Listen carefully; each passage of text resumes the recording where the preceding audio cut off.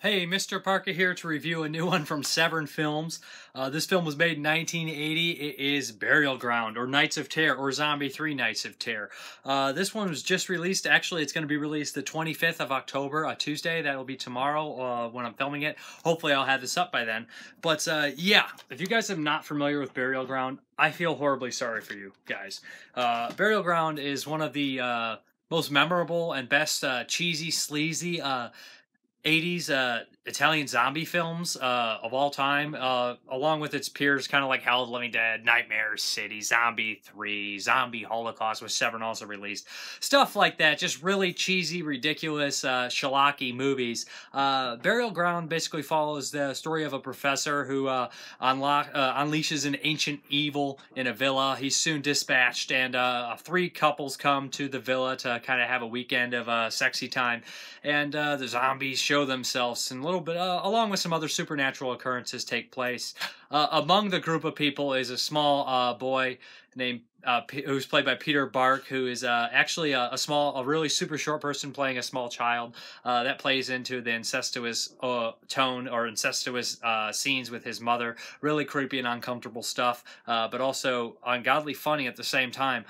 for me, Burial Ground is one of those films that is equal parts cheesy crap fest and uh, equal parts uh, surreal, uh, bizarre, uh, kind of creep fest as well. That's why I enjoy it so much. Uh, the zombies now do look very cheap. Uh, they have masks and even when they're busted apart, they look like clay with mud coming out of them. But uh, they're some of the most memorable zombies uh, you could see. I mean, not every zombie can look like it's from uh, Day of the Dead or Fulci Zombie.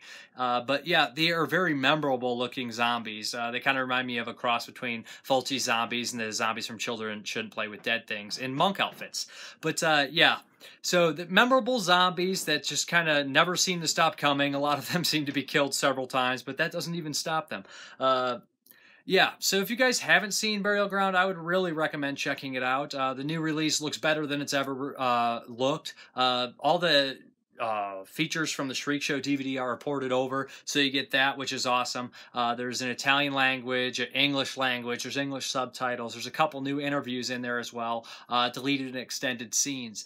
But yeah, again, Burial Ground is a schlocky, silly, low budget movie that has its uh, mistakes in there that you can spot, uh, but it's filled with gory stupidity and tons of nudity. Well, a decent amount, plentiful nudity. It's uh, kind of a sleazy zombie horror film but yeah, uh, this cover, this new cover looks great. Uh, it has the old original cover on there as well. Uh, and this movie goes back a long way for me. I, I, got into the Italian stuff when I was fairly young, and this one was always at the video store. I've always loved zombies, and that original cover art really stuck out to me. It drew me in, uh, and it, it, looked very similar to the Hell of the Living Dead, aka Night of the Zombies cover, and uh, Gates of Hell cover, aka uh, City of the Living Dead.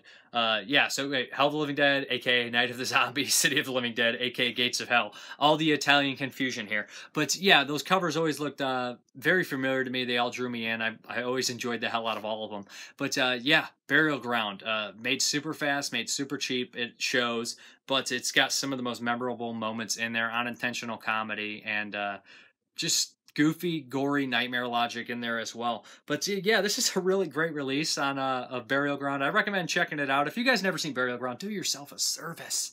If you like Italian films, if you like zombie films, see Burial Ground. It's nice and refreshing to see zombies in a graveyard. It has this old, almost like Universal or Hammer feel to it, but it has the sleaze of the Italian in there as well. Uh, the synth score really makes it pop.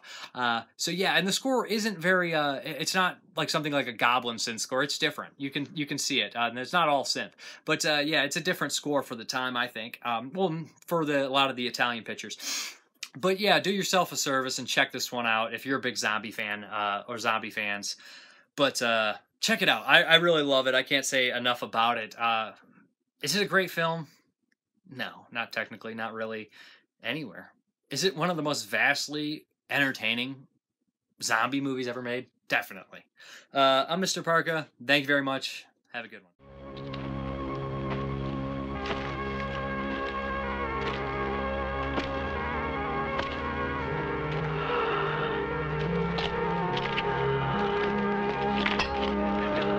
Piano.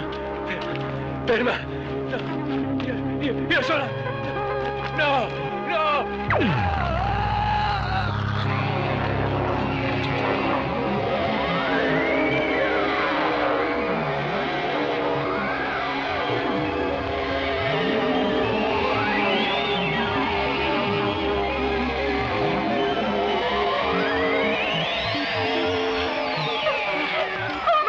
Fermatevi!